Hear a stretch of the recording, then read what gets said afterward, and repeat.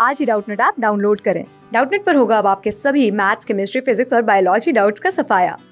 बस अपने क्वेश्चन की फ़ोटो खींचो, उसे क्रॉप करो और तुरंत वीडियो सोल्यूशन पाओ। Download now.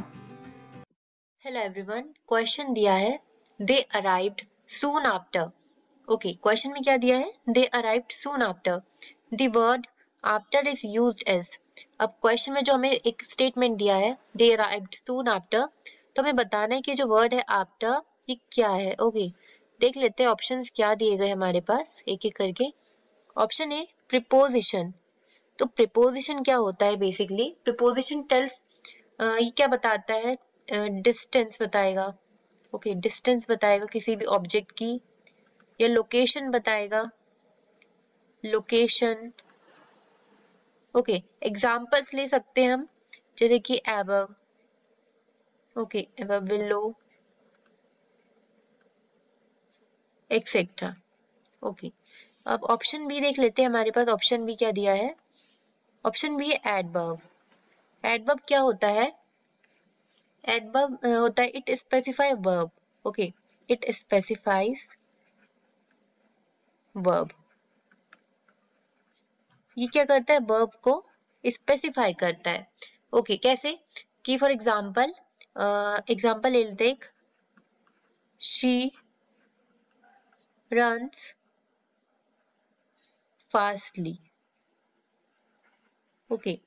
तो देखो रन हमारा क्या हो गया? वर्ब हो गया। Okay okay. लेकिन वो कैसे दौड़ता है?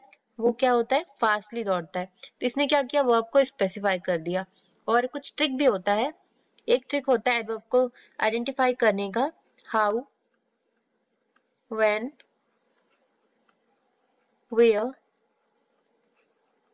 and why okay तो ये जो चारों हमारे इंट्रोगेटिव वर्ड्स हैं, इनसे क्या होता है, इनको हम क्वेश्चन में पुट अप करके आंसर फाइंड करते हैं। जिस भी क्वेश्चन में इनका आंसर मिल जाए, उसमें एडवर्ब प्रेजेंट होता है। ओके ये ट्रिक होता है एडवर्ब को आइडेंटिफाई करने का।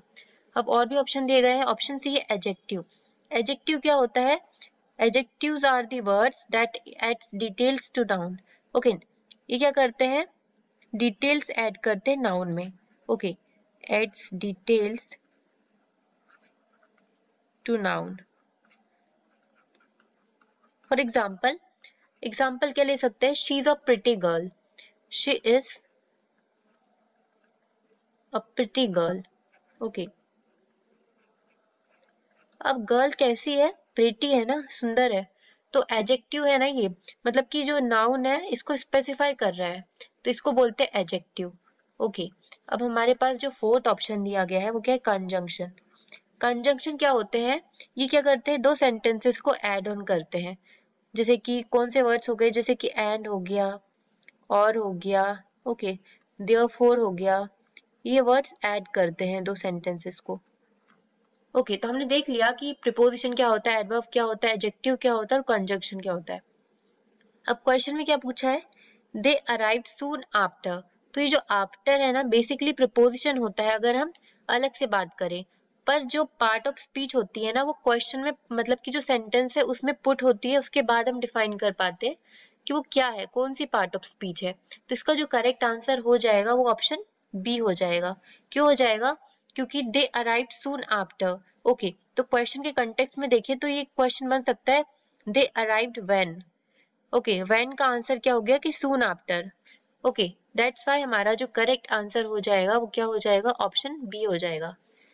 क्योंकि कोई वर्ड है ना, उसका खुद का मीनिंग नहीं होता। वो सेंटेंस में एड ऑन होके अपनी जो मीनिंग है वो डिफाइन करते हैं। और इसी से हम डिसाइड करते हैं कि कौन सी पार्ट पार्ट ऑफ़ स्पीच है। Okay so correct answer is option B thank you class six से ट्वेल्थ से लेके NEET I I T JEE mains और एडवांस के लेवल तक। दस मिलियन से ज़्यादा स्टूडेंट्स का भरोसा। आज ही डाउनलोड करें डाउट नेट आप या व्हाट्सअप कीजिए अपने डाउट्स आठ चार सौ चार सौ चार सौ पर।